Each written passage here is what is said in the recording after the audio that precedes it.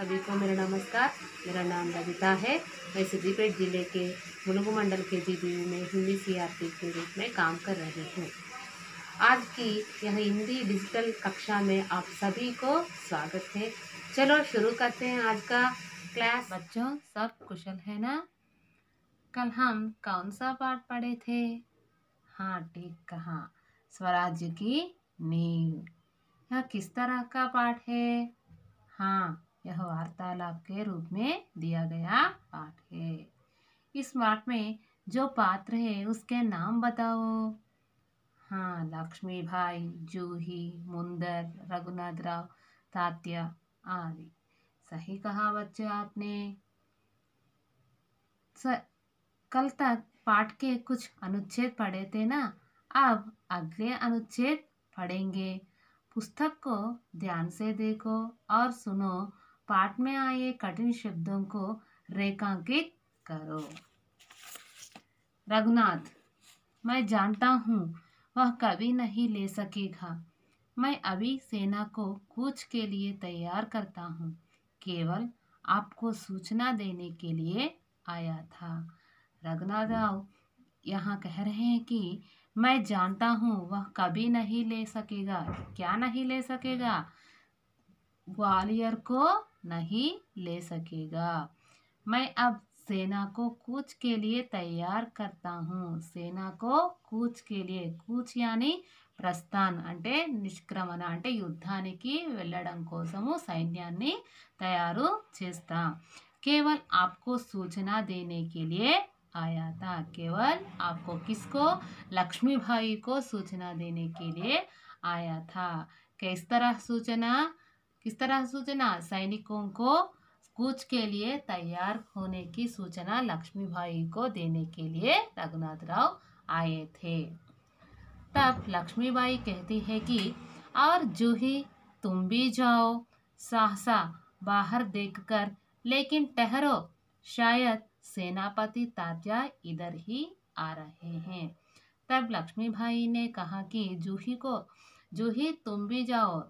जूही से कहा कि तुम भी जाओ मगर इतने ही शायद सेनापति आ रहे थे इसीलिए लक्ष्मी भाई ने फिर से कहा जूही से తా జూహీ को ठहरने के लिए कहा అంటే జూహీ వెళ్ళమని చెప్పగా ఫస్ట్ లక్ష్మీబాయి జూహిని వెళ్ళమని చెప్పింది కానీ ఇంతలో తాత్య గారు వస్తూ ఉండడం గమనించి మళ్ళీ జూహీని ఆగుమని చెప్పింది जूही बाहर देखकर जी हाँ ये तो सरदार तात्या ही है सरदार तात्या का प्रवेश जूही बाहर देखी और कही हाँ वो तो సర్దార్ తాత్యా హీ హే అప్పుడు జూహీ వెంటనే బయటికి చూసి అవును నిజమే మీరు అన్నది నిజమే సర్దార్ తాత్య గారు ఇక్కడికి వస్తూ ఉన్నారు అప్పుడే సర్దార్ గారి యొక్క ప్రవేశము జరిగింది तब फिर लक्ष्मी भाई ने कही कहिए सरदार तात्या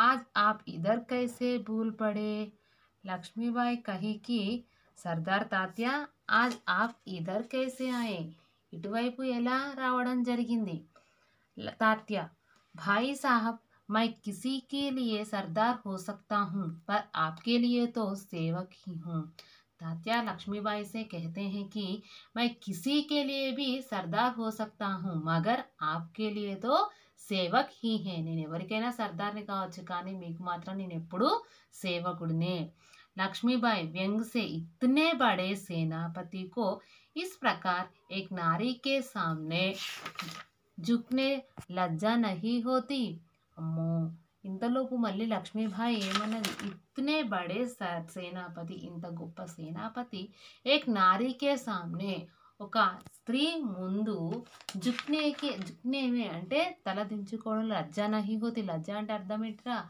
సిగ్గుపడడం. అంటే ఒక అమ్మాయి ముందు ఒక స్త్రీ ముందు తలదించుకోవడం మీకు సిగ్గనిపించడం లేదా అని వ్యంగ్యంగా అనడం జరిగింది. తబ్ ఖైర్ చోడో ఇస్ బాత్ కో. సరే వదిలేసే ఇక్కడితో ఈ విషయాన్ని వదిలేయండి. యహ తుమారి వినమ్రత హే यह तो तुम्हारी विनम्रता है। यह आपका सच्चा और अच्छी गुण है। लेकिन यह तोपों की आवाज़ कैसी आ रही है? कौन सा उत्सव मनाया जा रहा है? शायद चाटुकारों में जागीर बांटना अभी खत्म नहीं हुआ। यह तोपों की आवाज़ कैसी आ रही है? ये तोपों की आवाज़ किस तरह आ रहा है? कहाँ से आ रहा है? और कौन सा उत्सव मनाया जा रहा है? कौन सा उत्सव? उत्सव यानी పండగ త్యోహార్ ఏం పండగ జరుగుతుంది? షాయద్ చాటుకారోమే జాగీర్ పాట్నా అవి కత్మునహి హువా. షాయద్ ఒకవేళ చాటుకార్ అంటే కుషాంది అంటే ఆనంద సమయంలో.